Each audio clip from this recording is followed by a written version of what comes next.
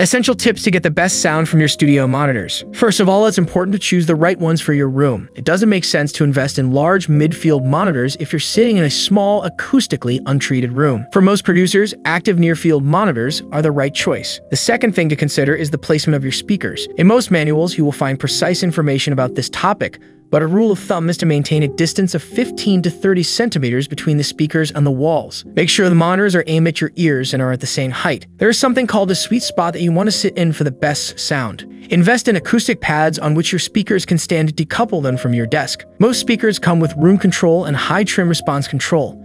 Don't ignore these features and experiment with different settings over a period of time. This can make a big difference. What studio monitors are you currently using? Are they good? Let us know in the comments and don't forget to download our free mixer presets at fltips.com slash free.